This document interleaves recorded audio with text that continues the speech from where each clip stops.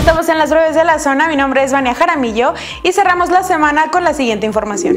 Bárbara Botello Santibáñez, exalcaldesa de León, quedó formalmente en prisión esta tarde tras la decisión de la jueza Cristina Rábago. La defensa ya solicitó un trámite de incidente en el que buscarán un amparo y que la priista pase el proceso penal en libertad. Esto quedará en manos de la Fiscalía General de Guanajuato y del Gobierno Municipal de León, que son los denunciantes. Va a ser sometida a un procedimiento penal ya está eh, formalmente sometida a un procedimiento penal.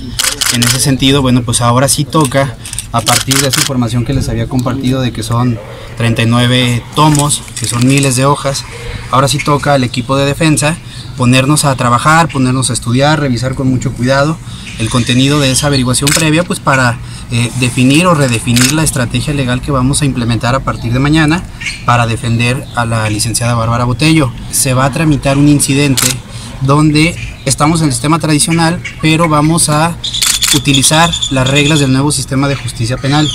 Ustedes lo saben, en el nuevo sistema de justicia penal eh, se prima la libertad del ser humano.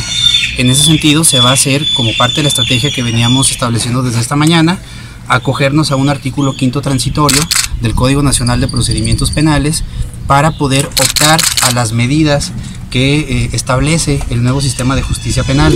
La detención de la exalcaldesa Bárbara Botello no es un acto político, pues si fuera así, se hubiera hecho en sus tiempos. Así lo aseguró el alcalde Héctor López Santillana, quien afirmó que se cumplió con el Estado de Derecho y se llevó a cabo el proceso apegado a protocolos. Cabe recordar que el proceso contra Bárbara Botello Santibáñez se inició en el año 2015 tras una denuncia de la Contraloría Municipal y posteriormente una solicitud de auditoría.